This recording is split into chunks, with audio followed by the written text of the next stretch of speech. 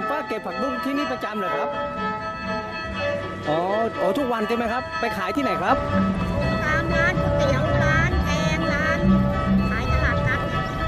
เหรอครับกินไหมผักบุ้งอ๋อ ยอด อ๋อเหรอครับ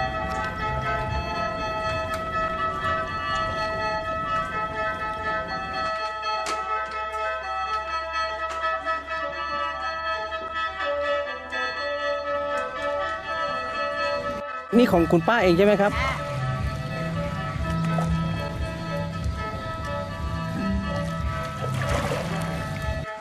เอาไปขายยังไงครับที่ตลาดเหรอ ขายยี่ห้ากรัมห้าสิบบาทมัดหนึ่ง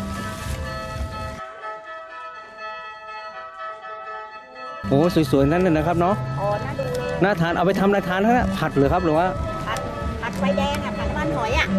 ครับ ผัดน้ำเปรี้ยวก็ได้ โอ้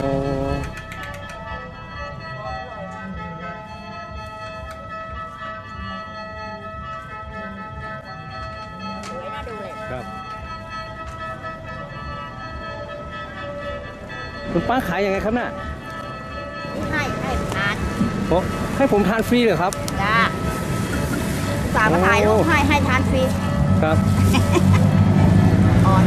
โอ้ครับ โอ้เออวางตัวนี้ก็ได้ครับโอ้ขอบคุณมากครับจ้ะโอ้โห